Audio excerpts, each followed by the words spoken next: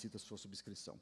Essa reunião se destina a discutir e votar pareceres de redação final e a receber, discutir e votar proposições da comissão.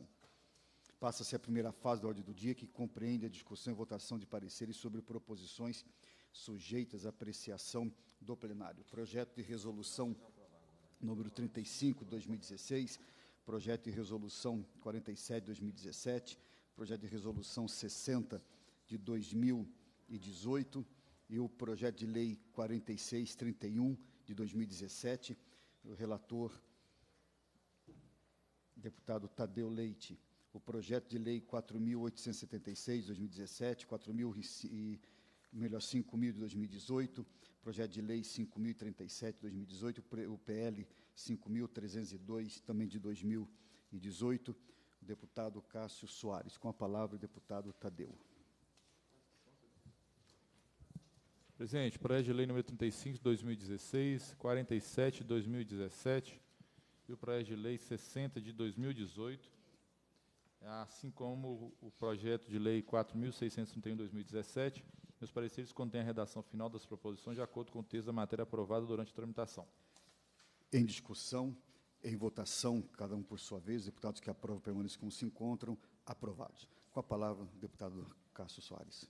Bom dia, senhor presidente, nobres colegas. De igual modo, os projetos que foram a mim confiados para emissão de parecer nessa comissão, eh, os meus pareceres também contêm a redação final das proposições de acordo com o texto da matéria aprovada durante a tramitação, senhor presidente.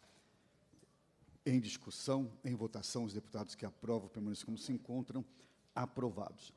Passa-se a segunda fase, discussão e votação também de proposições que dispensam a apreciação do plenário o PL 4077, PL 4839, projeto de lei 4863, o PL 5106 de 2018, PL 5118 de 2018. Estou avocando a relatoria.